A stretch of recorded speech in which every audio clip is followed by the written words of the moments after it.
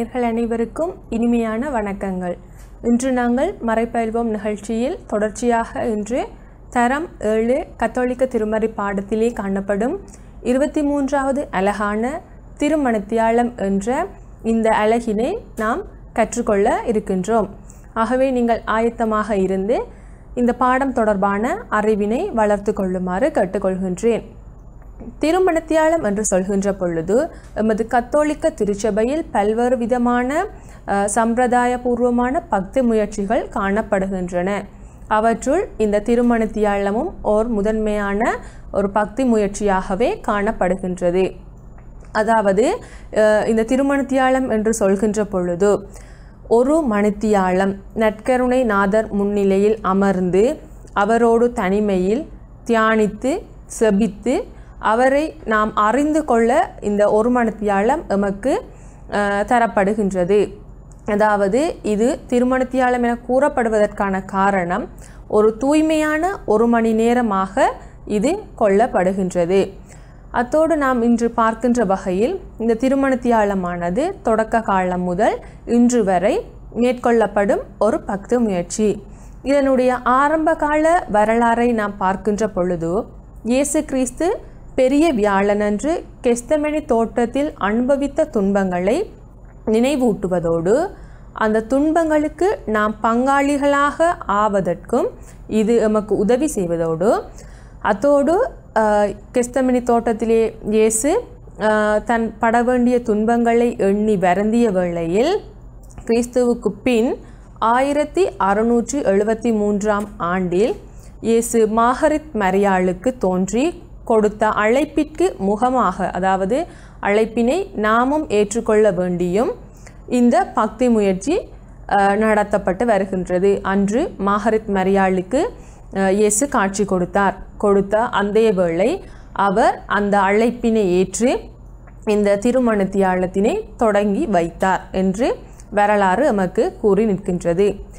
இதற்கமைய நாம் பார்க்கின்ற பொழுது இயேசுவினாலேயே மாகரித் மரியாள் வழியாக இந்த பக்தி முயற்சியானது ஆரம்பிக்கப்பட்டு இன்று வரை அது நடைமுறைப்படுத்தப்பட்டு வருகின்றது. நாம் பார்க்கின்ற பொழுது இது ஒவ்வொரு மாற்றங்களுக்கு காலத்திற்கு காலம் உட்பட்டதாயினும் ஆரம்பம் முதல் இன்று வரை மாற்ற முடியாத ஒரு பக்தி முயற்சியாக சம்பிரதாய பூர்வமாக மேற்கொள்ளப்படும் பக்தி முயற்சியாகவும் இது காணப்படுகின்றது. இந்த ஒரு மணி நேரம் என்று கூறும் பொழுது உங்களுக்கு நினைவில் வந்திருக்கும் அதாவது மத்தேயு இருபத்தி ஆறாம் அதிகாரம் நாற்பதாவது வசனம். அதாவது இயேசு சீடர்களை விட்டுவிட்டு தனிமையான அதாவது கல்லறி தூரம் தொலைவில் சென்று கெஸ்தமின் தோட்டத்திலே செபத்தில் அதாவது இறை தந்தையுடன் ஆழ்ந்த துயரம் வரும் அளவுக்கு செபத்தில் ஈடுபட்டு கொண்டிருப்பார். பின் திரும்பி வந்து பார்க்கின்ற வேளையில் சீடர்கள் துக்கத்தால் வருந்தி உறங்கிக் கொண்டிருப்பார்கள். அப்பொழுது இயேசு அவர்களிடம் கேட்பார் ஒரு மணி நேரம் கூட என்னோடு விழித்திருக்க உங்களுக்கு வலுவில்லையா?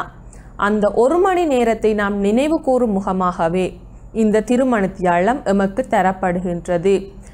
நாம் பார்க்கின்ற பொழுது இந்த திருமணத்தியாளம் எத்தகைய சந்தர்ப்பங்களிலெல்லாம் நடத்த முடியும் என்று நாம் பார்த்தால் முதலாவதாக பெரிய வியாழக்கிழமை.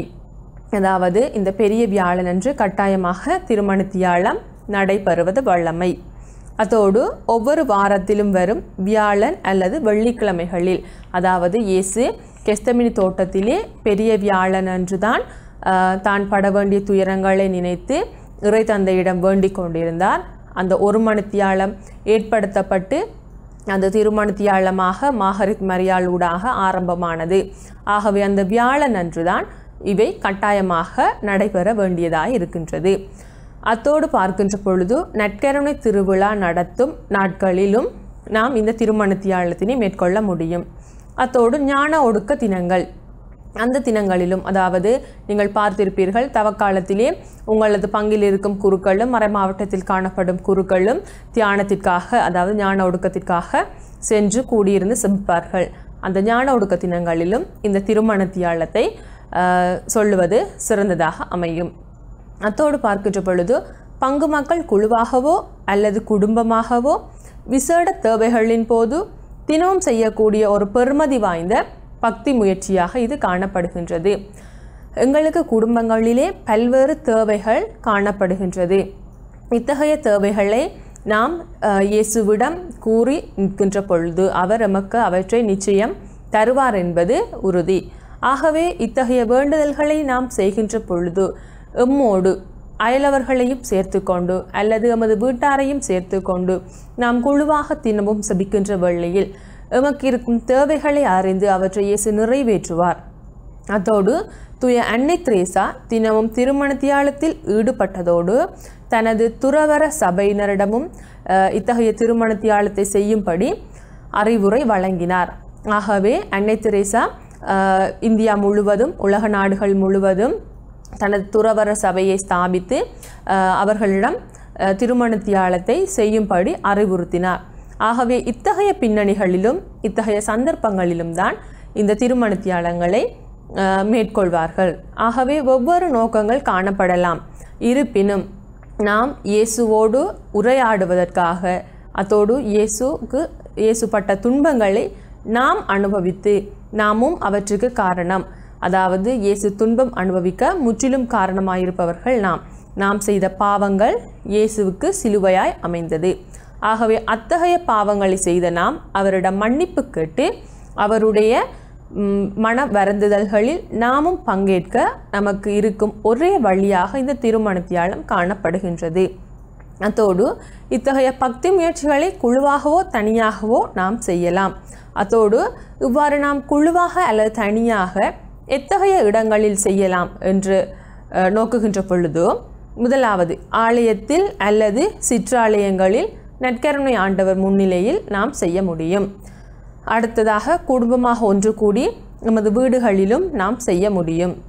அத்தோடு சமய நிறுவனங்களிலும் நாம் இந்த திருமண தியாலத்தினை செய்ய கடமைப்பட்டிருக்கின்றோம். அத்தோடு பார்க்கின்ற பொழுது இந்த திருமண தியாலம் செய்வதன் நோக்கம் என்ன என்று பார்த்தால் வெவ்வேறு வகையான நோக்கங்கள் காணப்படுகின்றன. அவற்றுள் விசேடமாக நான்கு நோக்கங்கள் காணப்படுகின்றது. முதலாவதாக கிறிஸ்துவின் கெஸ்தமே தோட்ட செபத்தில் பங்கு பெற்றுதல். அதாவது நீங்கள் மத்தேயு இருபத்தி ஆறாம் அதிகாரத்தை முற்றுமுழுதாக வாசிக்கின்ற பொழுது உங்களால் அறிந்து கொள்ளக்கூடியதாக இருக்கும். அதாவது இயேசு கெஸ்தமணி தோட்டத்தில் ஆழ்ந்த துயரம் வரும் அளவுக்கு இறை தந்தையிடம் வேண்டினார். அதாவது தந்தையே இத்துன்பக் கிண்ணம் என்னை விட்டு அகலட்டும். ஆனால் என் விருப்பப்படியல்ல உம் விருப்பப்படியே ஆகட்டும் என்று கூறினார். அதாவது நீங்கள் இதிலிருந்து விளங்கி கொள்ள முடியும். அதாவது இயேசு பட வேண்டிய துன்பத்தை அவர் நினைத்திருந்தால் தந்தையிடம் கூறியிருக்கலாம். எனக்கு இத்தகைய துன்பம் வேண்டாம். ஆனால் அவர் அவ்வாறு கூறாமல் மனிதர்களுக்காக மனிதர்களை அதாவது எம்மை பாவத்திலிருந்து மீட்பதற்காக இவ்வுலகிற்கு வந்தார். ஆகவே தனக்கு அளிக்கப்பட்ட பொறுப்பினை அவர் நிறைவேற்றுவதற்காக என் விருப்பப்படியல்ல உம் விருப்பம் எதுவோ அவ்வாறு எனக்கு நடக்கட்டும் என்று வேண்டிக் கொண்டிருந்தார். அதாவது ஆழ்ந்த துயரம் என்று கூறப்படுகின்றது. அப்பொழுது ஆழ்ந்த துயரம் வருமளவுக்கு அவர் வேண்டி முடித்த பின் அவர் வந்து பார்க்கின்ற பொழுது சீடர்கள் ஆழ்ந்த துயரத்தால் வருந்தி தூங்கிக் கொண்டிருந்தார்கள். அப்பொழுது அவர் கேட்கின்றார் ஒரு மணி நேரம் கூட உங்களுக்கு விழித்திருக்க வலுவில்லையா? என்று கூறுகிறார். ஆகவே எமக்கு முக்கியமான விடயமாக நாம் எப்பொழுதும் செபத்தில் ஈடுபட்டு இயேசுவோடு ஒன்றித்து கலந்து நாம் அவருடைய பிள்ளைகளாக வாழ்கின்ற பொழுது எமக்கு எத்தகைய தீங்கும் அணுகாது என்பது இங்கு சொல்லப்படும் ஒரு விடயமாகும். அத்தோடு எமது விசேட தேவைகளுக்காகவும் நாம் இந்த தீர்மானத்தியாலத்தினை செய்ய முடியும். நாம் பார்க்கின்ற பொழுது நமக்கு வாழ்க்கையிலே பல்வேறு விதமான தேவைகள் காணப்படுகின்றன. அதாவது உடல் ரீதியான தேவை உள ரீதியான தேவைகள் காணப்படுகின்றது. எமக்கு மட்டுமல்ல எம்முடன் இருக்கும் எம்மை சார்ந்தவர்களுக்கும் காணப்படுகின்றது. அவ்வாறான தேவைகளை நாம் இறைவனிடம் இயேசுவிடம் ஒப்பு கொடுத்து அவர் அதனை நமக்கு பெற்று தருவார். இயேசு நாம் கேட்பவே எல்லாவற்றையும் அவர் நிச்சயமாக தருவார். எதையும் இல்லை என்று அவர் கூறுவதில்லை. ஆகவே நாம் எல்லா தேவைகளையும் இயேசுவிடம் ஒப்பு கொடுக்கின்ற வேளையிலே இயேசு எமக்கு அவற்றை நிச்சயம் தருவார். ஆகவே அத்தகைய தேவைகளுக்காகவும் நாம் இந்த திருமண தியாலத்தினை மேற்கொள்கின்றோம்.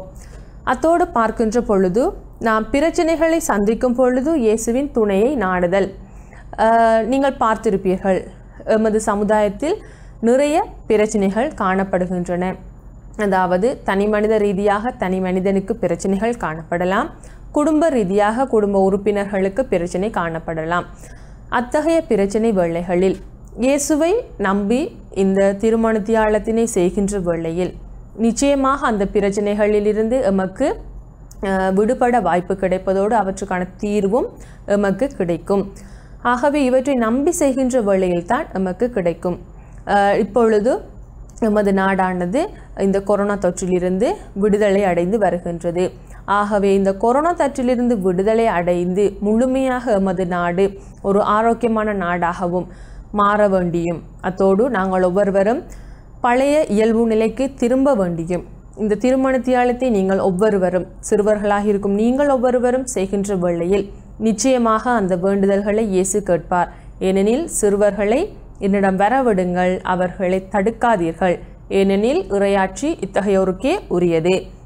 ஆகவே சிறுவர்களாகிய நீங்கள் வேண்டுகின்ற பொழுது நிச்சயமாக அந்த வேண்டுதல்களை இயேசு ஏற்றுக்கொள்வார். சிறுவர்களை அந்த அளவுக்கு அன்பு செய்கின்ற ஒருவராக இயேசு காணப்படுகின்றார்.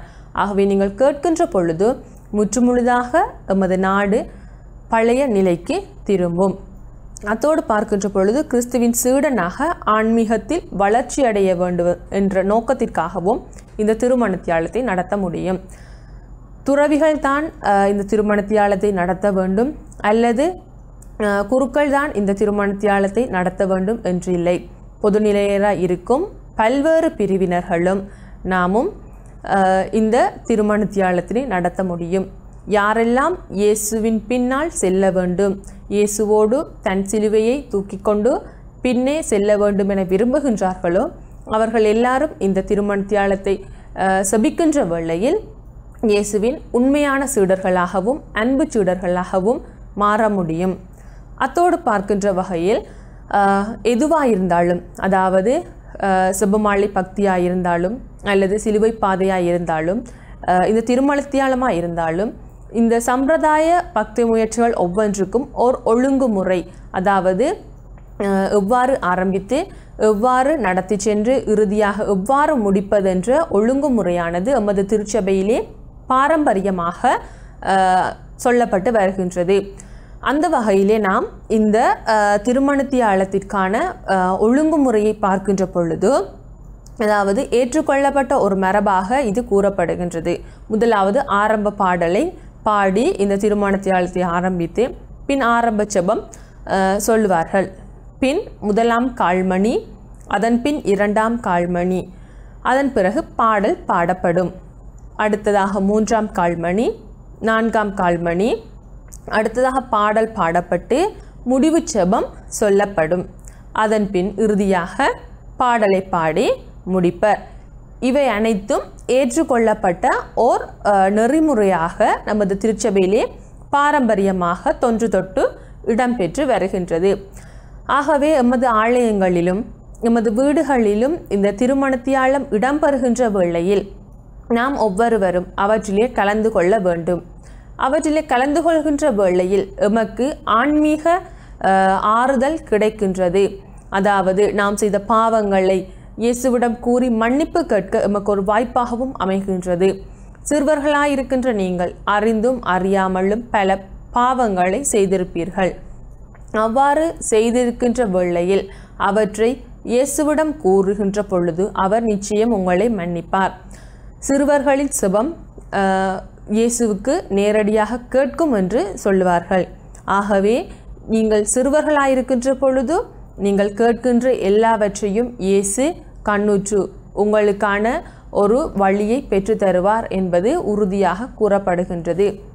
ஆகவே நாம் ஒட்டுமொத்தமாக பார்க்கின்ற வேளையில் திருமணத்தியாளம் என்பது ஒரு மிகவும் உன்னதமான பக்தி முயற்சியாகத்தான் எமது திருச்சபையிலேயே கூறப்பட்டு வருகின்றது. இவற்றிலிருந்து நாம் பின்வரும் வினாக்களை பார்த்தால் முதலாவதாக திருமணத்தியாளம் செய்யக்கூடிய இரண்டு சந்தர்ப்பங்கள் நான் ஆரம்பத்தில் உங்களுக்கு அத்தகைய சந்தர்ப்பங்களை சொல்லியிருந்தேன். முதலாவதாக பெரிய வியாழக்கிழமை அடுத்ததாக ஒவ்வொரு வாரத்திலும் வரும் வியாழக்கிழமை அல்லது வெள்ளிக்கிழமை. ஏன் வியாழக்கிழமை நீங்கள் செய்ய வேண்டும் என்று கூறினால் அதாவது வியாழக்கிழமை என்பது இயேசு கெஸ்தமனி தோட்டத்திலே தனக்கு ஏற்பட இருந்த துன்பத்தை எண்ணி வருந்தி அந்த திருமணத்தியாலம் என்ற வார்த்தைக்கு உயிரூட்டிய அந்த சொற்றொடரை அவர் கூறியிருந்தார். அதாவது ஒரு மணி நேரம் கூட என்னுடன் உங்களுக்கு விழித்திருக்க வலு இல்லையா? என்று அந்த மத்தேயு இருபத்தி ஆறாம் அதிகாரம் நாற்பதாவது வசனத்தில் உயிரூட்டப்பட்டதால் நாம் அந்த சந்தர்ப்பத்தை நாம் இந்த திருமணத்தியாளன் சொல்வதற்காக எடுத்துக்கொள்ள முடியும். அதோடு வியாழக்கிழமை சொல்வதற்கான சிறப்பும் அதுதான். அத்தோடு பார்க்கின்ற பொழுது நற்கருணை திருவிழா நடத்துகின்ற நாளையும் நீங்கள் குறிப்பிடலாம். ஞான ஒடுக்க தினங்கள் பங்கு மக்கள் குழுவாகவோ அல்லது தனியாகவோ விசேட தேவைகளின் போதும் செய்ய செய்யக்கூடிய ஒன்றாக இது காணப்படுகின்றது. அத்தோடு அன்னை தெரேசா தனது துறவர சபைகளுக்கு இத்தகைய இந்த திருமணத்தியாலத்தை செய்யுமாறு அறிவுறுத்திய சந்தர்ப்பங்களிலும் இதனை நாம் சொல்ல முடியும். அத்தோடு பார்க்கின்ற பொழுது திருமணத்தியாலம் நடத்துவதன் நோக்கங்கள் என்று உங்களுக்கு வினா வினவப்பட்டால் முதலாவதாக நீங்கள் எழுதுகின்ற பொழுது கிறிஸ்து அஹ், தோட்டத்தில் செபித்தார். ஆகவே அந்த செபத்திலே நாங்களும் பங்காளியாவதற்கு இந்த திருமணத்தியாலத்திலே ஈடுபட முடியும். அடுத்ததாக எமது விசேட தேவைகளுக்காக நீங்கள் செபிக்க முடியும்.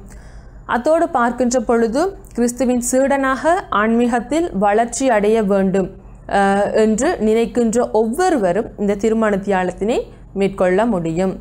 அத்தோடு திருமணத்தியாலத்தில் நாம் எதனை தியானிக்க முடியும் அல்லது எதனை தியானிக்க அழைக்கப்படுகின்றோம்? அதாவது நான் உங்களுக்கு ஆரம்பத்திலேயே கூறியது போல அஹ், திருமணத்தியாலம் என்று கூறுகின்ற பொழுது இயேசு கெஸ்தமணி தோட்டத்திலே அனுபவித்த துன்பங்களை நினைவு கொண்டு அதில் பங்காளிகளாக எம்மை மாற்றுவதற்காக நாம் அழைக்கப்பட்டுள்ளதோடு கிறிஸ்துவுக்கு பின் ஆயிரத்தி அறுநூற்றி எழுபத்தி மூன்றில் இயேசு மாகரித் மரியாளுக்கு தோன்றி கொடுத்த அழைப்பிற்கு பதிலளிக்கும் முகமாகவும் இந்த பக்தி முயற்சி காணப்பட்டது. அத்துடன் தான் ஆரம்பமானதும் என்றும் நாம் கூற முடியும். ஆகவே இதுதான் திருமணத்தியாலம் தில் நாம் எதனை தியானிக்கின்றோம் என்ற வினாவுக்கான விடையாக காணப்படும். ஆகவே நீங்கள் இதிலிருந்து வாழ்க்கைக்கு எடுத்துக்கொள்ளக்கூடிய விடயம் அதாவது இயேசு எமக்காக பல்வேறு சவால்களை வென்று அதாவது தோள்மேல் பாரமான சிலுவையை ஏற்றிக்கொண்டு எங்களது பாவங்களை எல்லாம் அவர் சிலுவையில் அறைந்து உயிர் விட்டார். அதாவது எமது பாவங்கள் தான் அந்த சிலுவை. ஆகவே நாம் செய்த பாவத்திற்காக எமக்காக இயேசு சிலுவையிலே தொங்கி உயிர் நீத்தார். ஆகவே நீங்கள் உங்களுடைய அன்றாட வாழ்க்கையில் பார்க்கும் பொழுது நீங்கள் செய்யும் ஒரு குற்றத்திற்காக எவராவது தண்டனையை ஏற்றுக்கொள்வார்களா? அல்லது நீங்கள் செய்யும் ஒரு தவறுக்காக அவர்கள் அந்த தவறை செய்யவில்லை என்று கூறி உங்களைத்தான் அவர்கள் காட்டிக் கொடுப்பார்கள். ஆகவே நாம் வாழ்க்கையில் பல்வேறு இடரல்களை மேற்கொள்கின்றோம். பல்வேறு பிரச்சனைகளை சந்திக்கின்றோம். எவ்வளவு பாவங்களை செய்கின்றோம். ஆனால் அந்த பாவங்களுக்கெல்லாம் பொறுப்பேற்க இன்னும் ஒருவர் வரமாட்டார்.